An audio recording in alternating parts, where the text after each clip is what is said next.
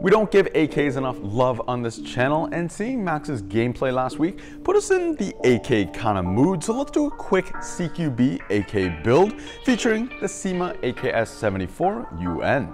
It's an excellent mid-tier AK, and coming in at under 300 Canadian dollars is one of the most affordable ways into a nice stamped steel receiver. I like that this one comes with a full metal quad rail right in the box, so you don't have to worry about finding or fitting one yourself. But of course, this is available in a real wood handguard version as well for fans of that classic look.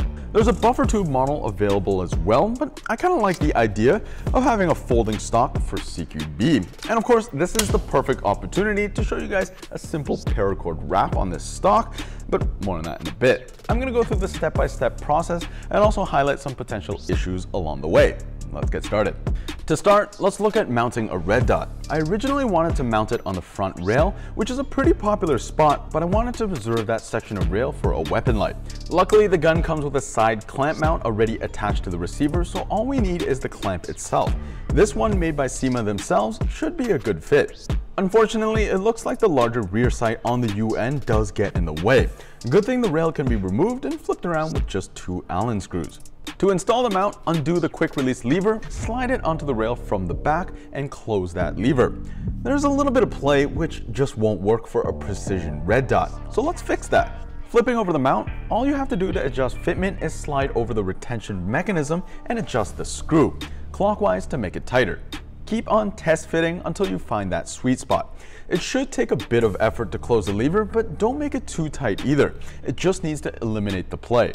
For an optic, we're going with the AIM Sports 1x 20mm micro red dot. 5 levels of brightness for both red and green. It's the same one that I use on my personal build and I've been really happy with it so far.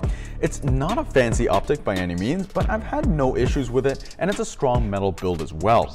Alternatively, we could have went with something like the Electro or a hollow sight, but I think this fits the look of the build the best. I mounted the sight all the way forward as I found it was a nice distance from my eyes and also I like the way the lines matched up with the rear sight, but of course it's a personal decision. Moving towards the front, I did notice a bit of play in the rail. An easy fix, a quick tightening of the main mounting screw did the trick. While we're at it, might as well tighten the other screws as well. It's easy to miss the two little grub screws underneath the side rails that lock in the top rail.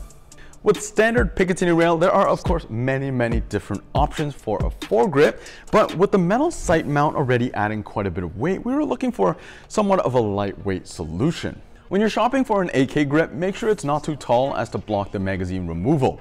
We settled on the Fortis style short grip, which also comes in a KeyMod version. Mounted towards the back of the rail, it gives adequate room for the rest of your fingers and is really quite comfortable. It's designed to be used as a hand stop and that little hook shape accommodates your pinky quite nicely. However, the metal edges on the rail does feel rather abrasive after a while. Look, I know what you're thinking, just man up and deal with it, and it's really not that unbearable, but this build is all about optimizing, so what can we do to improve it? E&C makes these low profile rubber rail covers that will definitely improve the feel of the rails. To install, simply measure out the length that you need and cut off the excess. Try to use a sharp knife and cut close to the horizontal sections for the cleanest look.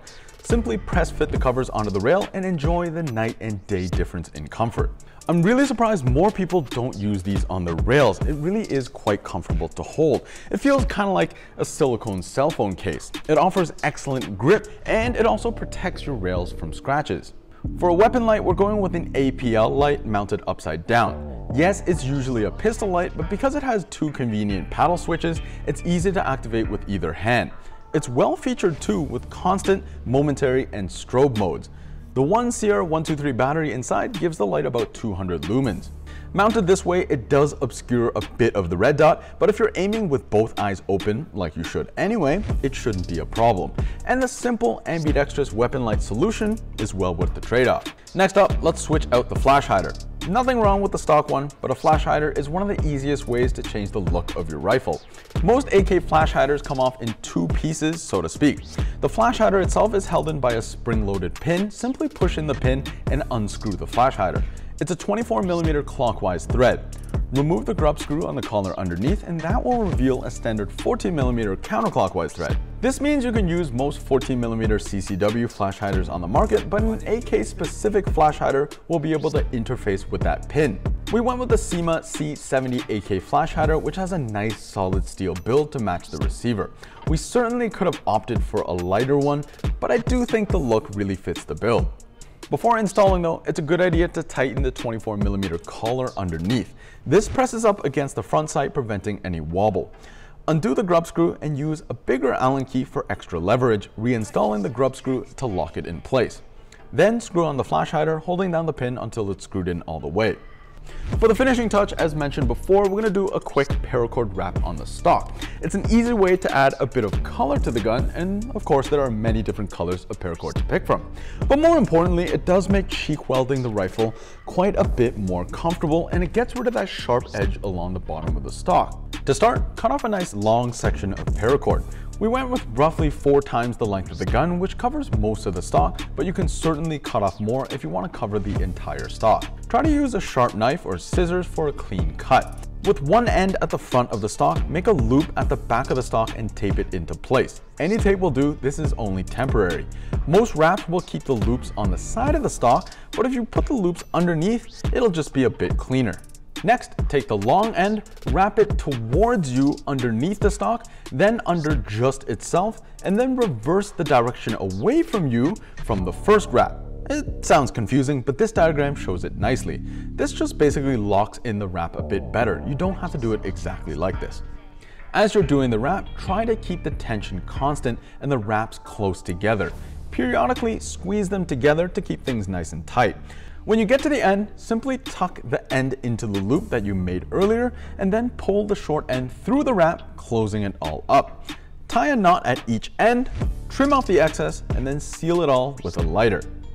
That's all there is to it. A very cheap way to customize your gun and make it a bit more comfortable. And that's it, quick CQB AK build complete. Coming in at 3.5 kilograms, we added about 500 grams from the stock weight of 3 kilograms, which isn't too bad, but we did gain a lot in terms of comfort and usable attachments. If you are aiming for a lightweight build, I'd avoid the clamp mount as that is where most of the added weight comes from.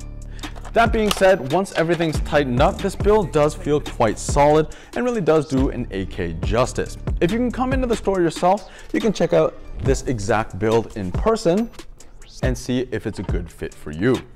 I can't stress enough how the little things like the paracord wrap and the rubber rail covers really just make this gun that much more comfortable to run. What do you guys think of this build? What would you change? Let us know down below. We'd love to hear your thoughts. As always, thanks so much for watching. If you haven't subscribed yet, consider doing so, and we'll catch you on the next one.